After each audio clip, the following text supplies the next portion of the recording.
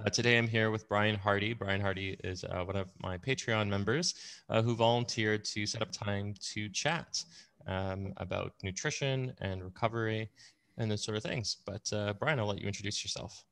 Yes, thank you. Thank you. And happy to be here. Um, and yeah, I am um, someone who's very interested in uh, the, the intersecting worlds of sort of, you know, posture and pain and uh, chronic tension and digestive issues and uh, recovery and you know not just recovery from say a workout but recovery from surgery or injury. Um, and the reason why is because going through a lot of that stuff myself uh, when i didn't have any insight or any understanding of how to take care of this body uh, and how to help it to regenerate uh, really like initiated me into um, this line of work um, and having this be such a, a driving force in what I'm interested in and you know how I serve and what I'm passionate about. So um, yeah, I think there's a lot to chat about and uh, a lot to share with folks who may be struggling, who may be feel feeling stuck or feeling like you know they've just become um, they've normalized their pain right they've mm-hmm. just kind of accepted that this is the way it is and there might not be that much i can do for it um, and hopefully, by the time we finish our conversation, they have some very practical, tangible things that they can start doing uh, to move the needle on that. So, well, sounds good. Well, I know for me, um, go- going into personal training and rehab and all that, it was from my own personal experience with chronic pain and injury, poor posture. Um, uh, and so I believe that's the case for you as well. Do you want to talk a little bit about uh, your personal journey, uh, struggling um, with chronic health issues? Yeah, yeah. So um, I wasn't into health growing up, really. You know, I like to like do a little bit of training and calisthenics and pretend I was like a superhero, but really had no uh, basis for a solid foundation of health uh, until I was 18 years old, and just a number of factors. You know, I recognized far later that I had been pretty much constipated my whole life and didn't mm-hmm. realize that was a thing. You yeah. know, I thought it was normal to strain and to not have regular bowel movements, um, which seems to be the case for a lot of folks, right? So it's, it's definitely mm-hmm. not not normal. It's very common, but it's not normal. Um, but that was my, you know, first 18 years of my life, and um, at that point, my system just became too burdened from a number of things. It could have been the, the stress of university. I was in my first year of university um, the stress of I was trying to put on a bunch of muscle, so I was training a bunch and just eating like an idiot, um, and all those things came together to uh, essentially trigger appendicitis, mm. and uh, it, it went misdiagnosed. I didn't know what it was for like the first four days. I just felt very very sick and uh, weak and like this weird kind of gnawing feeling in my gut but it wasn't localized at all to like the you know the lower quadrant as they say. Um, so i just kind of like you know tried to sleep it off and drink powerade and like hope that it would go away. Yeah. And it didn't go away. It got far far worse to the point where i ended up in the er and uh, then was promptly misdiagnosed by that doctor. Um, and i think that was probably the time it was rupturing because the pain that i felt waiting in that er was so intense that I felt like I could understand the uh, thinking towards like suicide or wanting to end suffering for the first time in my life, which was really an interesting awareness to have. Um, at 3 a.m., lying down on a hospital in a waiting room bench. And so they loaded me full of painkillers, two shots of morphine, a prescription for Tylenol 3s, did an x ray, uh, and poked my stomach a few times, and then said, You have the flu, go sleep it off. And I was just like, at this point, I haven't eat, I haven't eaten in four days. I've been living on Gatorade and Powerade, um, and I just went through like the most painful experience of my life. And clearly, something's not right. But he totally missed it. So, long story short, my mom comes down, pick me up from school. We go to a different hospital. They do a CT scan, uh, see that I'm a mess. That was the technical term that they used and did surgery and yeah. saved my life. Thank God. Um, but what that what that did was it left me with a very large scar that took a long time to heal uh, because of the infection mm. and all the antibiotics and all of the scar tissue set me up for what became my real sort of turning point. Um, because after that whole ordeal, I tried to go back to living normally, right? Back yeah. to university, trying to just get through my classes, trying to just enjoy myself, eat the foods I like to eat, drink on the weekends, all that kind of stuff. And my system was not responding well to it. Um, so it took about a year of attempting to pretend like it wasn't something bigger going on uh, to where things really broke down and ended up having essentially a, a yeast overgrowth, candida overgrowth, uh, paired with scar tissue adhesions call, causing bowel obstructions. Um, oh. So all that came together. And pretty much since that moment in that period, health has been the driving force in my life, in my work, in my, my studies. Um, and it took a number of years to sort of work my way out of that situation. Um, and so, uh, yeah, I just became obsessed with reading and trying different things and trying to piece together how can I reverse uh, what's been done to the greatest extent and prevent this from happening again. Um, so yeah, that was that's really why I, you know, do what I do today and have this uh, this deep passion for this area. Yeah. Well, let's talk a little bit um, about what that journey was like for you. Like what worked, what didn't work for you. Um, what kind of professionals were you seeking out? What did you try? Because uh, I've heard similar stories um, many, many times over the years in my practice uh, with individuals who just like not getting answers, um, struggling with all kinds of chronic health stuff, uh, misdiagnosis, or you know, so many secondary effects um, after like you know such a, an operation yeah so i mean what really started to move things and i'll talk more uh, towards the scar tissue at this point um, because the dietary stuff um, you know candida overgrowth is a very common thing you know dysbiosis imbalance gut bacteria and yeast balance it's a very common thing um, and that can be reversed if you do it correctly in my experience in about 12 weeks um, and I have entire interviews online that uh, if people are interested, they can reach out or they can look me up um, and find discussing the, the depth, the details of that side of things. Um, but for the scar tissue and the adhesions and the bowel obstructions and the chronic pain side, um, what I really found was, and I mean, because if you are admitted to the hospital with a bowel obstruction, um, they basically put you on liquids and then hope that it passes. And if it doesn't pass, then they do surgery to remove those adhesions, which has to cause further adhesions. Yeah. Right. So it becomes this really vicious cycle. Luckily, when I went to the hospital uh, for bowel obstructions, uh, it passed and cleared. And then as soon as I got home, I was just researching natural ways to prevent and reverse and treat bowel obstructions. And I found this clinic in the States called Clear Passage, uh, which is a it was founded by a husband wife team, and she had had uh, scarring um, around her uterus and her fallopian tubes and was infertile and in chronic pain because of it.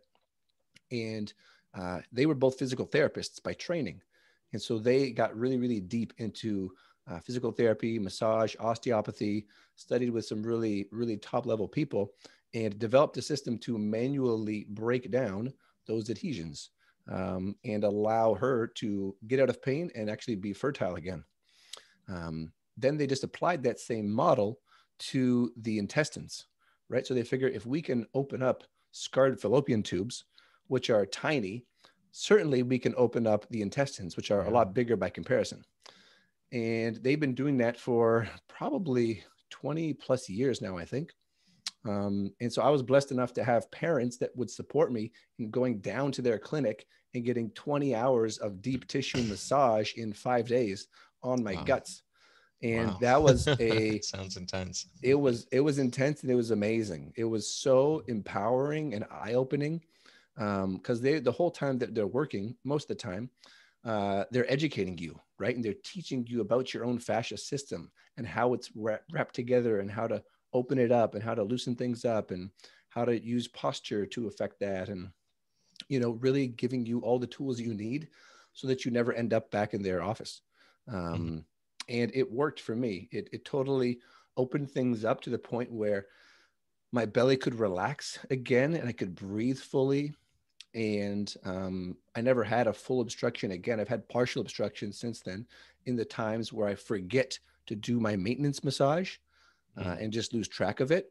Um, but every time I come back to it, and you know, essentially it's deep tissue. Their whole thing that they've studied is 90 second minimum in the specific spot, and then slowly tracing those lines of tension and continuing that pressure, um, so that after the course of you know five minutes or an hour, you have followed the fascia wherever it's sort of leading you and helped it to unwind. Um, so that definitely was the primary thing. Now, um, along with that, some of the sort of nutritional and lifestyle things that I found really good for stacking. Uh, one was castor oil packs. So a warm compress, hot water bottle or heating pad with castor oil and a natural piece of cotton or flannel. And that just brings so much circulation to the mm. area and so much uh, perfusion of blood and softening of this, the, the tissues um, to where if you're constipated or if you have cramps like menstrual cramps or if you have you know chronic back pain um, and i would get it to the point where the, the, the tension in the front would radiate into like my kidneys um, and just put you in a very very uncomfortable place. And so the heat and the castor oil is a phenomenal tool. Um, and then one other thing was systemic enzymes which are really mm. cool in that you take these enzymes away from food. So they're not digestive enzymes uh, but you take them away from food, they get into your circulation and then act like little Pac-Men going around mm. gobbling up the extra fibrous tissue. Um, and there's been people who have treated cancer successfully with enzyme therapy, uh, literally digesting tumors with enzymes and other things. Not just taking enzymes. It's a very, you know, you got to have a, a, comprehensive approach for anything that's like potentially life threatening. Um, but those enzymes allowed me to break down the excess tissue from the inside and to direct their flow to the area that I wanted by increasing circulation. Um, so that is, and it's something that I still, you know, when I suggest it to people or when I hear someone coming out of a surgery, um, it's still very uncommon for them to be aware that systemic enzymes can be such a powerful tool. Um, so those would be sort of like the top three things uh, massage, castor oil packs, and systemic enzymes for starting to address some of that chronic uh, scarring and, and, and, tension and pain. Mm. And how about uh, inflammation? Because I know that's something that a lot of people are struggling with, like chronic inflammation, um, whether it's systemic or localized um, to the gut. And uh, you know the thing with uh, taking anti-inflammatories is that you know it blocks prostaglandin one, but also prostaglandin two, and so one of them you know is responsible for the inflammatory response, but the other one is actually responsible for healing. So if you overdo it with pharmaceutical anti-inflammatories, you're actually starting to put a halt on the inflammatory and healing process altogether. Um, so yeah, just in general, uh, for individuals suffering from like say chronic fascial inflammation, uh, chronic digestive inflammation? Is there anything that you found uh, to be particularly helpful on that front? Yeah, well, one thing, and this is um, definitely a universal, is uh, magnesium.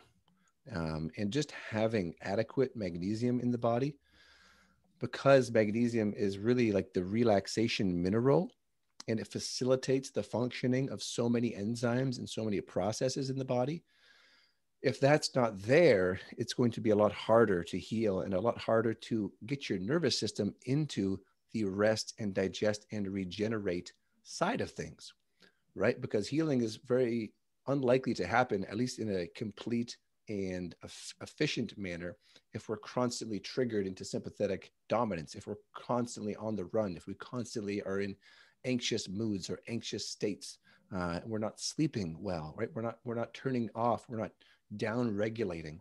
Um, so magnesium for me is 100% always has to be on board. Um, that could be transdermally, right? So you can topically apply it to the specific area where the most tension is being held. Um, you could soak in a bath with magnesium salts, and you can also take it internally. I like all of those formats, um, and I suggest them all depending on the, the, the individual and sort of their context. Um, I know there are several um, versions of uh, magnesium that you can ingest. And I know that some are more bioavailable than others. Uh, could you touch upon that briefly? Yeah. So uh, there's yeah, there's a lot of forms, and this is true of like any mineral, right? So magnesium, potassium, uh, even things like vitamin C, they're bound to different things, and thus they have different effects in the body. And so, um, some of the research I first came across it from Charles Poliquin. Um, mm. who was such a you know encyclopedia of so many amazing things.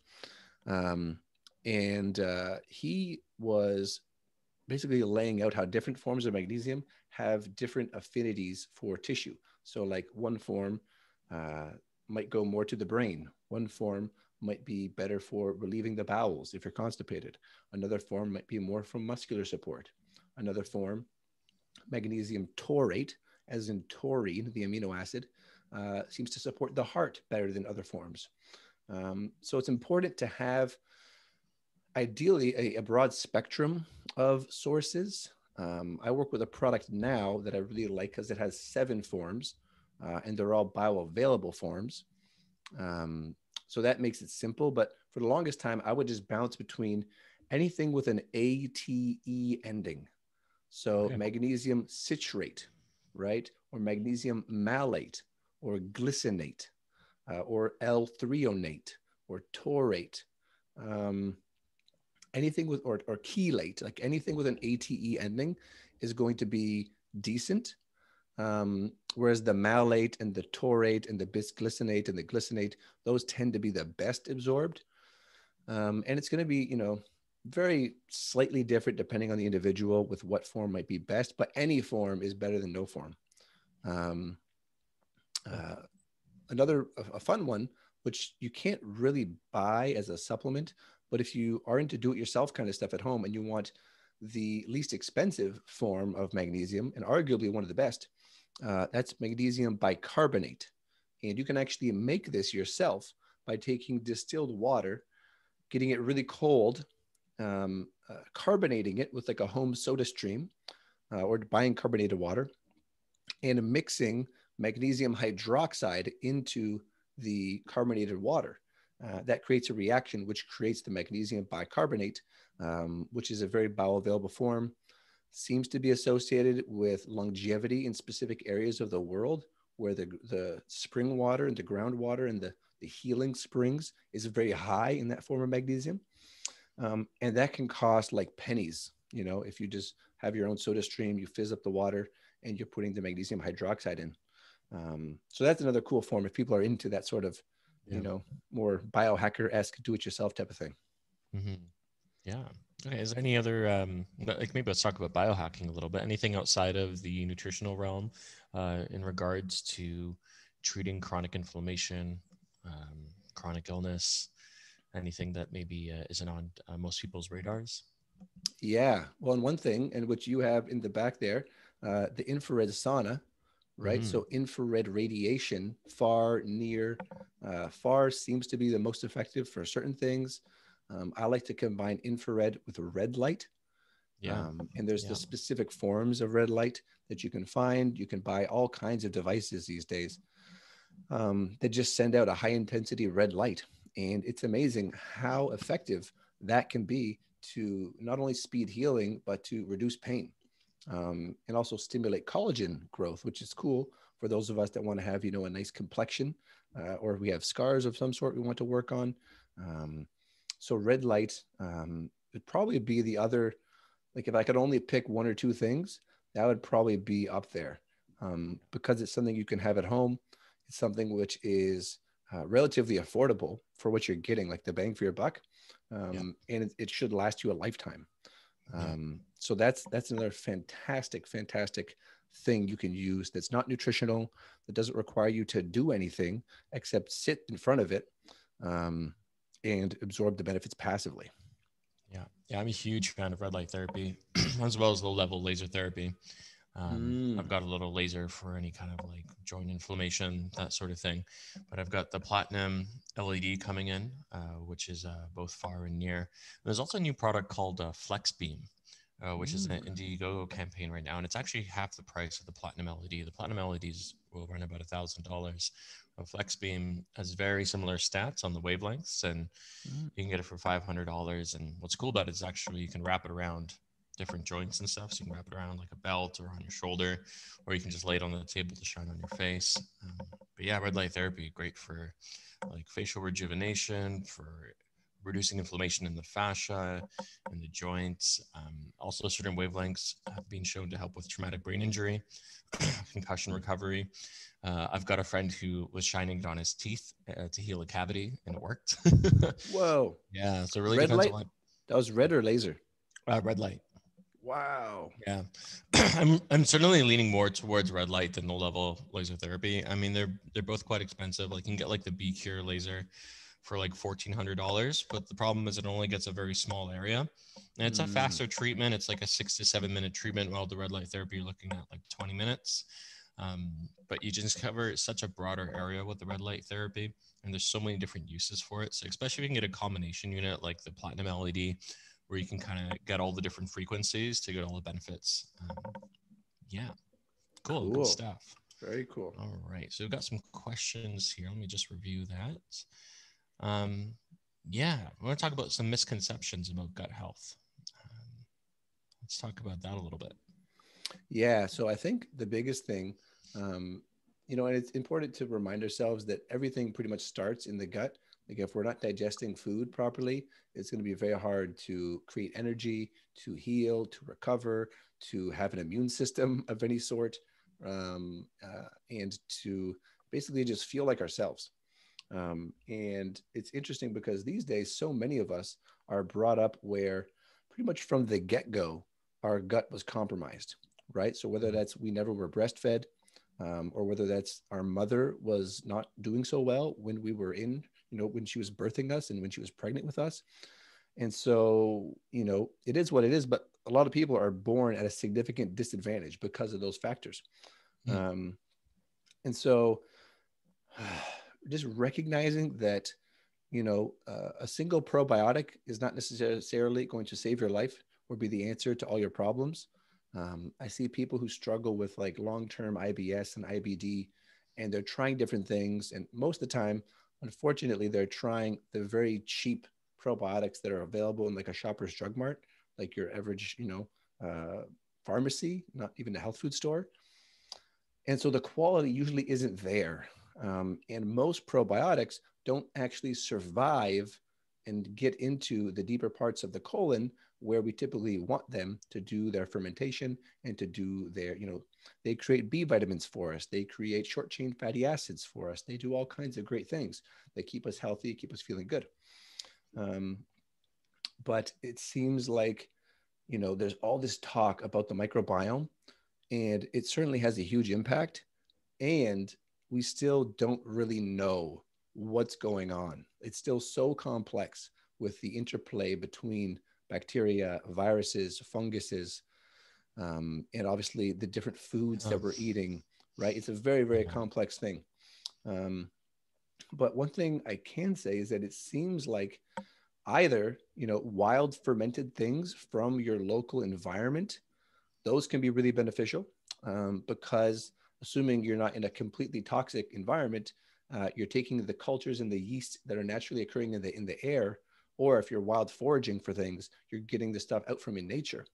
Um, and those things can be really good because uh, it just brings diversity, right? We want diversity in our microbiome.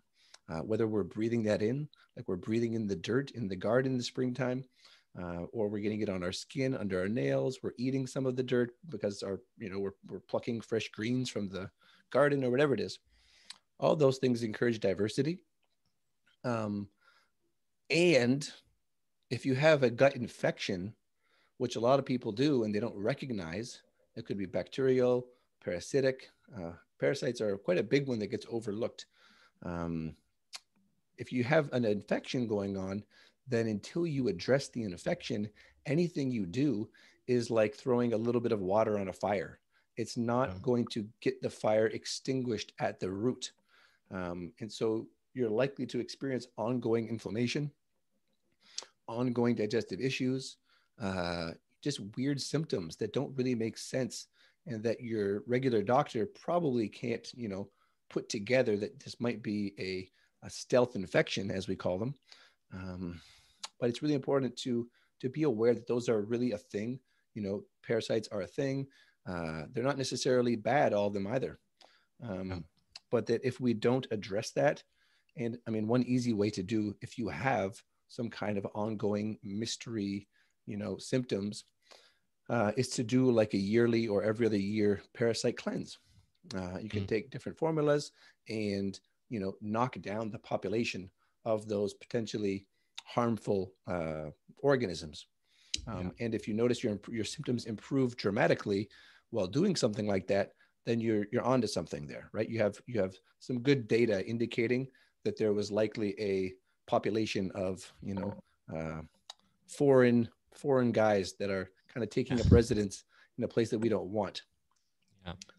Um, I certainly have my own experience with that, um, and it's wild with uh, with parasites and also with like candida overgrowth, that sort of thing, where it you just adapt to it and you get used to it, and then you don't realize that there's actually a problem in the first place until you are actually on the other side of it.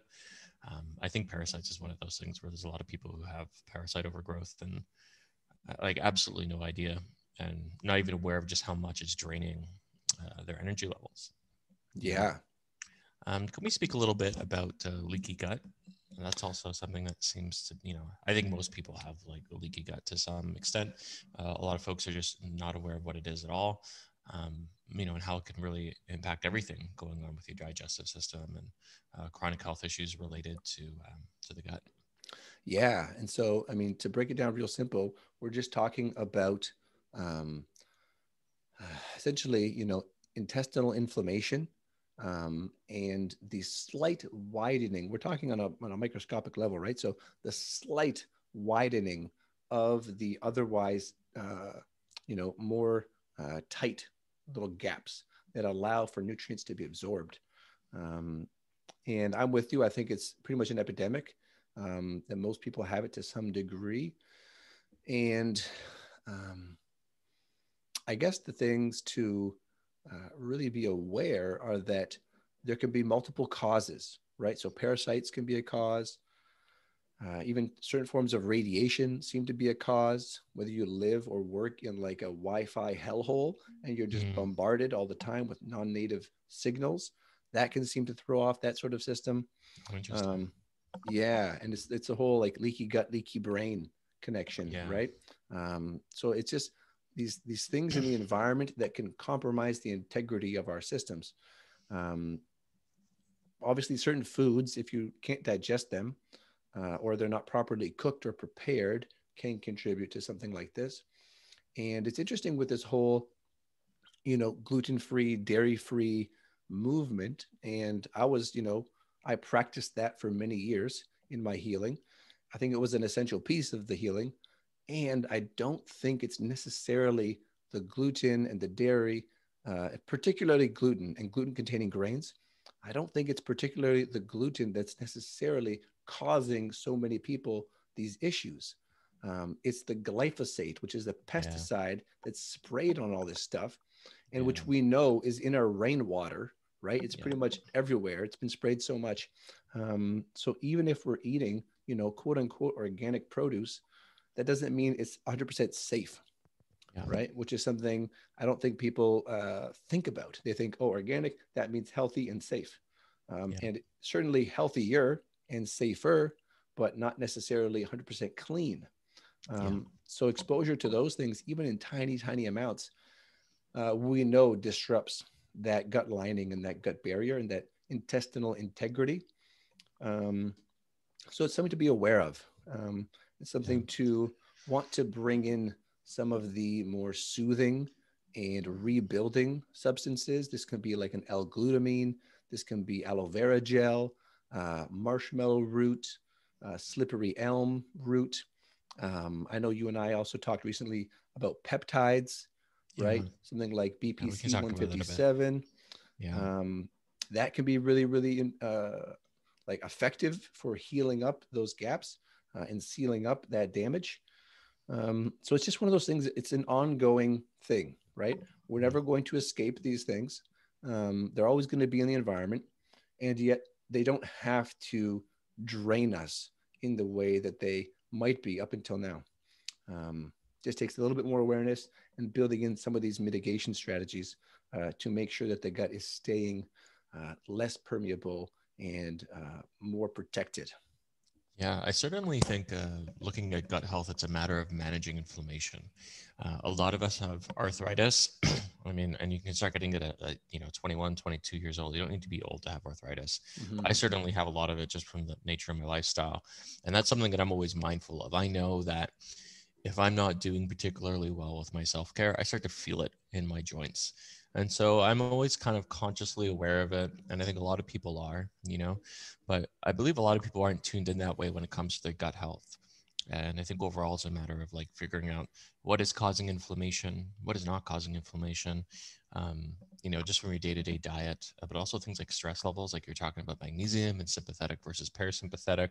These are all factors. So um, I know with like the the CHEK um, holistic lifestyle coaching, the Paul Chek course, you know, that's one of the big things, like monitoring uh, your bowel movements and your gut and knowing what's healthy and what's not healthy and what might suggest parasites, et cetera, et cetera. Um, on the gluten front, yeah, definitely that blew up in a way that I think was, you know, turned into a really big diet fad. Um, and it was interesting when I started hearing about people like going to Italy for vacation. They're eating all this pasta, and they're eating all this bread, and they're not having any issues there because in the Italian culture there, they're so mindful of, of the quality of the grain, right? Mm-hmm. So I think that was a big tip off to the glyphosate issue. And another thing is um, uh, washing fruits and vegetables. To, you know, you mentioned about organic foods and how there still might be a lot of pesticides, that sort of thing. Um, so I'm actually a big fan of using a um, very diluted hydrogen peroxide, like food grade hydrogen mm. peroxide spray to cleaning fruits and vegetables. You know, because we get fruits and vegetables from the grocery store and with you just run them under water a little bit. That's not really going to do anything, you know, especially because mm. a lot of these products are kind of waxy. But um, you know, so that, that's a tip that I recommend is to make sure it's food grade. You can't get hydrogen peroxide from the pharmacy and use it. You want to get food grade hydrogen peroxide um, that's very well diluted. And then you use that to spray your fruits and vegetables. And just a very simple thing to do to really help to eliminate some of these toxins there. Um, on the peptide front, yeah, I just finished a 20 day trial of uh, BPC 157, uh, GHK, and TB500, or also known as uh, thymosin beta 4, uh, mostly to treat a shoulder injury. Um, I had a little bit of labral tear from circus and I'm trying to avoid surgery. And it really, it, it really did wonders. At, at, some point I had to up the dose a little bit more to really get it effective. There's like a lot of dosing protocols. And I think it's one of those things where if you don't have the right dose, you're not going to get the benefit you're looking for. All of that being said, uh, BPC 157 is really like incredible stuff. Um, lots of studies suggest that it's very safe. Um, it, you can get it by prescription in the United States. Uh, not quite here yet, but the first thing I noticed was my gut health and brain fog. It, like within days, it was like my digestion had improved like very considerably. Same thing with the like cognition. Uh, I used to trip over my words a lot. I was like speaking a lot more clearly. I was able to focus for a longer period of time. Um, and yeah, a lot of yeah, a lot of benefits like that. Uh, and so BPC 157 is actually a healing peptide released uh, by the stomach. Uh, and so originally it was just being used to treat these kind of digestive disorders. But then studies were starting to suggest that it could also be used to treat musculoskeletal injuries, for uh, neurogenesis, all kinds of other things. It's a really nice general healing peptide. Um, so, yeah, I think that's something that it's certainly worth looking into if you're struggling with uh, chronic gut health and chronic inflammation, that sort of thing. Yeah. Do you have any experience with that yourself? Yeah, I had used it for a knee injury. Uh, I mm-hmm. tore the meniscus in my right knee a few years back, and uh, I did uh, two rounds of BP 157, uh, just in small injections, I think half a milligram twice a day. And the second round, I also included the TB500.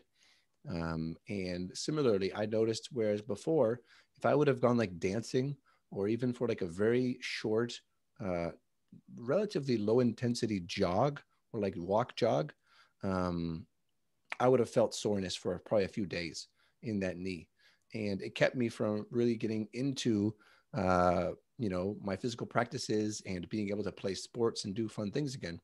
And within it was almost like every single time I used it, like if I used it and then trained a little bit, the next day be very, very, very tiny amounts of residual pain or stiffness. Um, and so, yeah, I think it definitely helped expedite the healing process. Now, I was doing red light and I was doing some physio exercises. Um, but it was, it felt like it moved the needle more than most anything else. Yeah.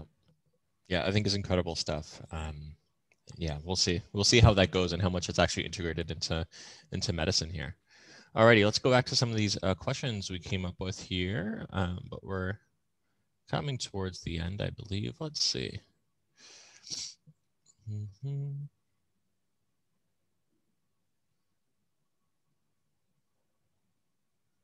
Yeah, is there anything else that you'd like to touch upon? I think we hit most of the topics you'd like to discuss about. Does anything come to mind for you? Yeah, I think one other thing to go back to talking about anti-inflammatories and you know more natural ways to do that and more ways that are gut friendly um, to do that is really looking at our herbs and spices mm, right so what are we incorporating in our food on a daily basis that is um, by its own nature delicious and healing right that's like yeah. my sweet spot is how can i make food really tasty and really nutritious and really beneficial um, so it doesn't feel like some bland health food, but it feels like, oh my God, I get to eat this as part of like my healing prescription. This is yeah. wild. So things like, you know, ginger, turmeric root, uh, rosemary, basil, oregano, thyme, pretty much any herb and spice, ideally organic or homegrown whenever you can, um, cinnamon, cardamom, like the list goes on and on and on for these really tasty and really effective uh, herbal medicines is really what they are, right? Um, and that's the kind of thing that you know back in the day, if we were getting sick, that's what grandma would cook up. You know, she'd make soup, she'd make tea, she'd make whatever, um, and that would be the medicine. That's like the old folk medicine. Yeah. And a lot of those wild plants still are unmatched in their efficacy and their safety. Things like wild, truly wild oregano oil are will basically kill anything um, bacterial, viral, like anything. These things are very, very potent and they're not going to overload the system the same way that pharmaceuticals would, right? They're not going to cause the the uh, the strain on the liver in quite the same way. You can still overdo it, right? You can still overdo yeah. it with these things. Um, so making making sure you're not overdosing um, with natural or pharmaceutical is important. But whether it's you know in a smoothie in the morning like this morning, I think I dropped a couple cardamom pods and a, a schizandra berry into my smoothie just because. Um, yeah. I'll often put a chunk of ginger in there. Um, uh, or whether you're making soup, like where we are, it's wintertime, great time for warming soups and stews and doing like crock pot, slow cooker type of things, and just loading it up with herbs and spices, making a curry, like all of that stuff is medicine and is beneficial. And when you have it ongoing every day as part of your regular diet, uh, it's easy to maintain.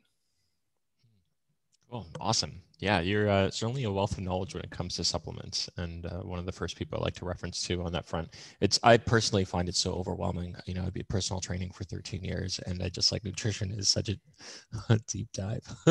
it's, um, yeah, it's a, it's, but I, I like what you're saying about uh, variety. I think you're really onto something there about just trying to get as much variety to buffer your system and you know not lean into one element uh, too much you know i'm always very mindful to try and rotate my foods personally that i'm not eating the same thing every single day and building up a food resistance to it but also supplements so like mm. when i make mm. my smoothies i have three or different um, I have three different meal replacements that I like to use. So every day I cycle between a different one as the mm. base of my smoothie. So not taking the same product every single day.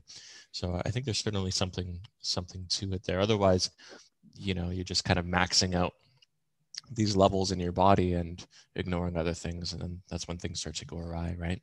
Mm-hmm. Cool.